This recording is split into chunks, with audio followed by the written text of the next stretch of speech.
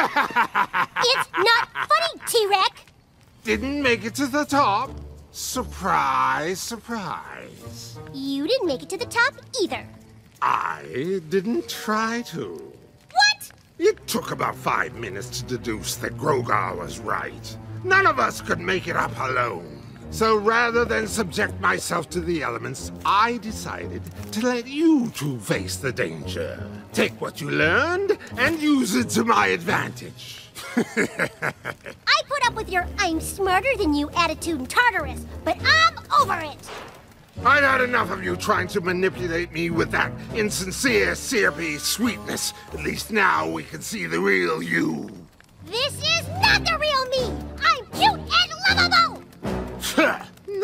you're not. You're annoying and you snore. I do not snore!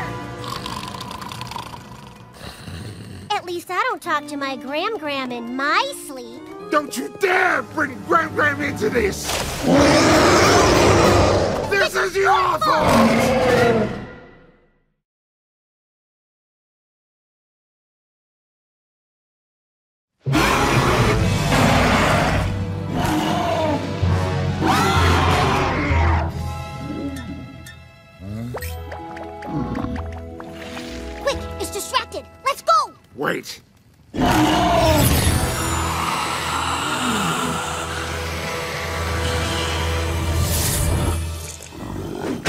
Mmm, so much love.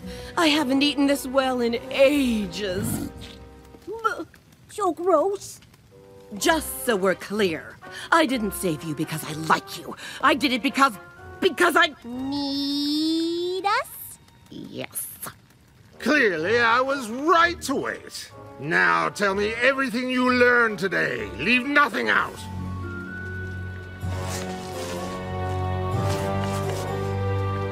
Why are you doing that? Didn't you already drain it of love? I always save a little for the next day.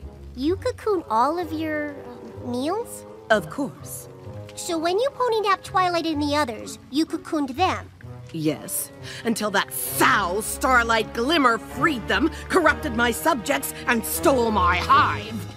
Those ponies have weaknesses. I used that turncoat Discord, tricked him into helping me capture his so-called friends. Uh, Discord was really something until friendship ruined him. You should have seen Twilight's face when her friends appeared in bubbles around me. She was all, you know, another one. She's so stressed out all the time. When I posed as her former foal sitter, I thought she was going to implode. I wish I could have seen her face when I nearly erased all the magic from Equestria. Oh, magic was a little excessive, don't you think? Nah, I think big. Besides, it would have been worth it just to see Twilight and her friends bow down to me. Indeed it would. Who wouldn't love to see those prissy ponies realize they lost everything? I'm a pathetic pony princess. I made a detailed list of all the ways I'm a failure. Ah! you know, working with you two may not be the worst thing. Perhaps, as long as it results in the complete destruction of our enemies. I wouldn't have it any other way. Do the pathetic princess thing again!